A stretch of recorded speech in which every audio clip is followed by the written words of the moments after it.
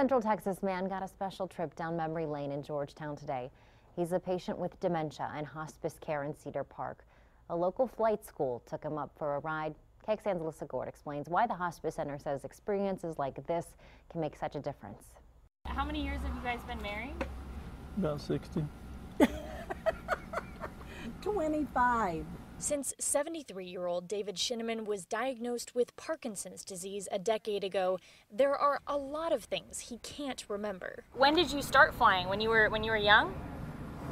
I was nine, 19. But he can tell you lots about his career as a pilot. His wife, who also happens to be a hospice nurse, says that's where his mind is a lot of the time. It's totally different when it's your loved one because you're you're not just losing your husband.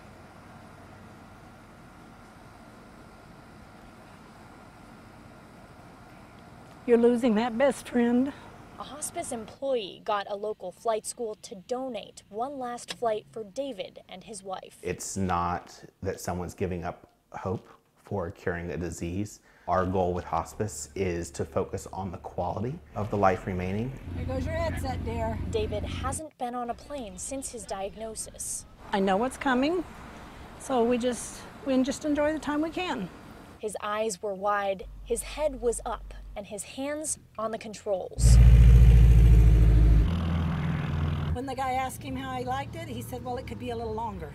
David's caregivers say his physical care is important in this final chapter, but so is finding glimmers of joy, despite the disease. Hopefully, it's something he can remember. Alyssa Goard, KXAN News.